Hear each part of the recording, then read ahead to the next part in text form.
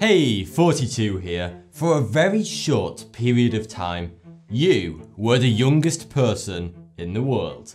Welcome to RIF. Until 1997, there were more pigs than people in Denmark. Beetles often live within the fur of a sloth. A single sloth was discovered with over 980 beetles living in its fur. In 1993, San Francisco held a referendum over whether a police officer called Bob Geary was allowed to patrol whilst carrying a ventriloquist dummy called Brendan O'Smarty. He was. In 1923, jockey Frank Hayes won a race at Belmont Park in New York despite being dead.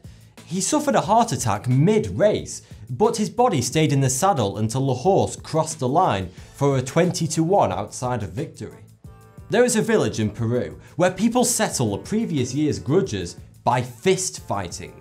Then they all start the new year off on a clean slate. Kurt Cobain shot himself about one month after Justin Bieber was born.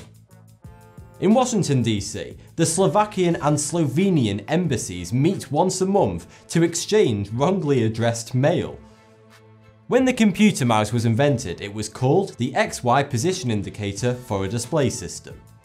Until the 1800s, dentures were often made from the teeth of dead soldiers. Tasmania, Australia, has the cleanest air in the inhabited world.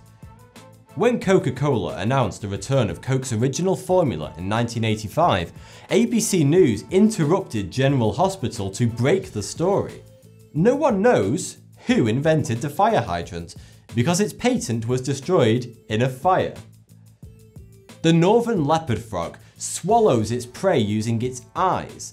It uses them to help push food down its throat by retracting them into its head. The first CD pressed in the US was Bruce Springsteen's Born in the USA. Thanks for the view, subscribe for more Thoughty2.